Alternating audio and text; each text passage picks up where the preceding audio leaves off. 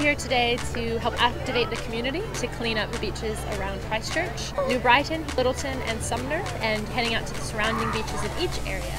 And our mission at Sustainable Coastlines is to enable people to look after the coastlines and waterways that we all love.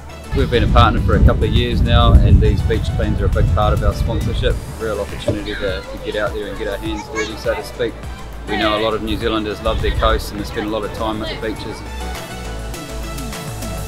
We hope that people take a, a really cool message of reducing, reusing and, and, recycling when they get home and they can make small little changes each day to be better today than yesterday and better tomorrow than today.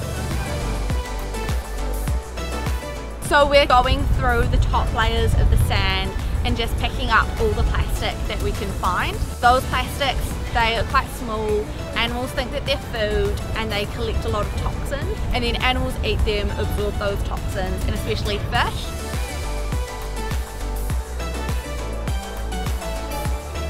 We've heard a lot about microplastics today and how they affect the fish. Just really trying to protect the wildlife, live a more sustainable life and teach our kids that you know it's really important to look after the earth that we live in.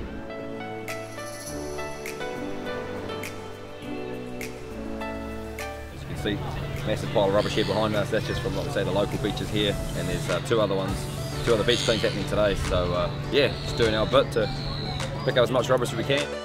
A lot of single-use plastics, a lot of fast food wrappers, all the stuff that you're grabbing, using once and then you're throwing away and even if you are throwing it in bins, it's blowing out.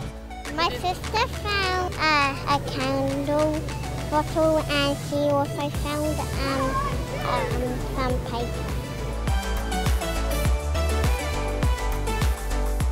So we're very grateful to have the support of Hirepool to enable this day to happen and also all of the community groups that have bring people out in mass. Uh, we've got Scouts here, Remix Plastic, Sustain South Brighton, St. Margaret's College, um, some of the staff from Tonkin and Taylor. So it's a great way to have all kinds of people come together from different community groups to do some work all as one.